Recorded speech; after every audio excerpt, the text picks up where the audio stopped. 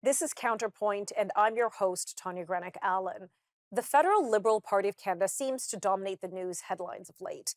There is talk of candidates frustrated with the party brand, potentially tarnished by its leader Trudeau, his policies, and of course his governance style. Recent polling seems to reflect this dismal news, with polling by Leger revealing voter intention. The Conservative Party of Canada maintains its lead with 45% of the vote nationally, followed by the Liberal Party at 25% and the NDP at 15. Liberal candidates and MPs are wondering if they stand a chance in the next election, which is due in the fall of 2025. And now, with the end of the NDP Liberal agreement, what will the future of the Liberal led government be? Well, joining me now to share his insights is Andrew Perez, a Liberal strategist and principal at Perez Strategies. Andrew, thank you so much for joining me today. So let's dive right in. What is the current landscape for the Liberal Party of Canada? It, it's a very dire one, Tanya. Uh, really, over the past 18 months, uh, the government has struggled to gain traction uh, in public opinion and also in communicating its uh, its agenda.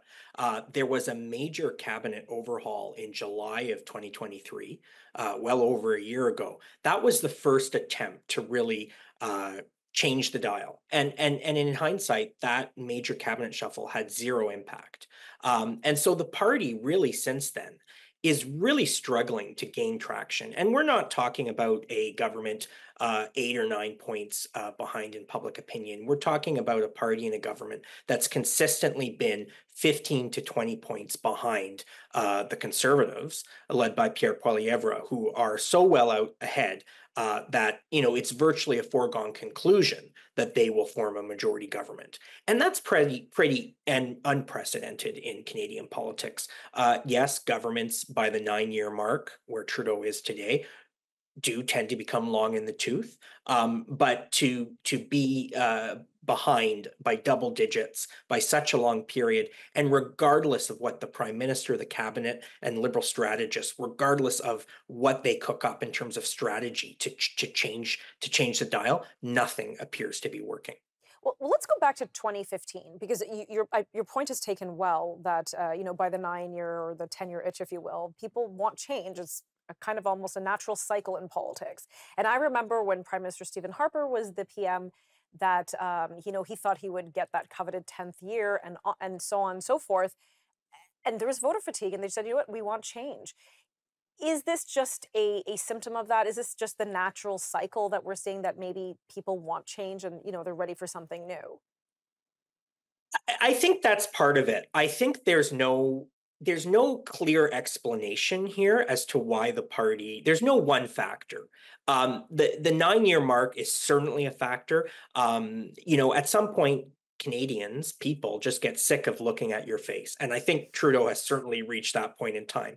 But I think while I give the government credit for generally managing the COVID 19 pandemic well, I think emerging from that pandemic, the government did win its third mandate, albeit a minority, exactly three years ago in uh, in in September of 2021 it really went all downhill from there. I think there's a myriad of political and public policy reasons as to why.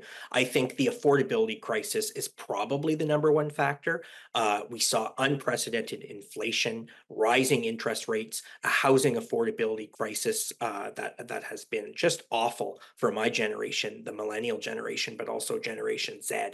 And so the confluence of those factors coming out of COVID, when the electorate and the Canadian people were already very cranky, we saw uh, divisions in society heightened.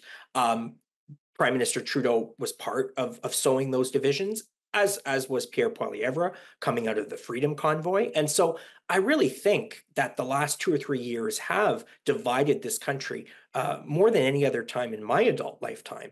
And um, unfortunately for the Liberals, that has that has led to uh, you know a great loss of support for the party and the government. At this point, and I, and I've been open about this. I'm a longtime Liberal. I remain in the Liberal Party in spite of my criticism of the Prime Minister and the government. But I want to see the Liberal Party. Uh, form official opposition in the next election, like Harper did 10 years ago. He he lost his majority government, but he came out with uh, about 99 seats, uh, and and the party was able to rebuild. Right now, the Liberal Party is at risk of of coming in third place. Some polls are even suggesting fourth place in Okay, I'm going to pause you there. We'll be right back.